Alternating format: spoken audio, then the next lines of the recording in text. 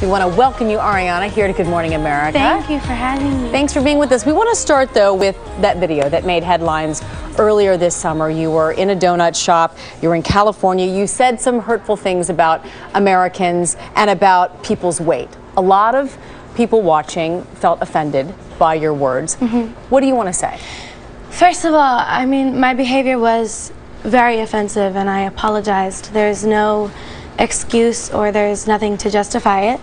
But, um, you know, I think that as human beings, we all say and do things that we don't mean at all sometimes.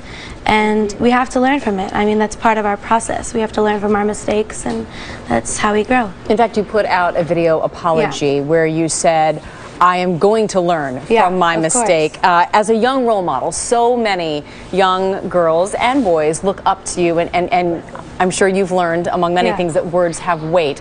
Tell me what you've changed, what you've learned based on that experience. I think one of the biggest things I learned from that was what it feels like to disappoint so many people who love and believe in you, and that's an excruciating feeling.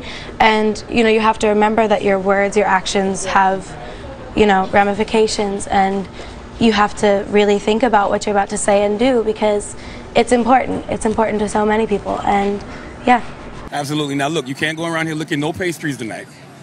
Oh, okay. Okay? All right, I'll take notes. Yes, no pastry licking. I'll, I'll keep And- it in mind.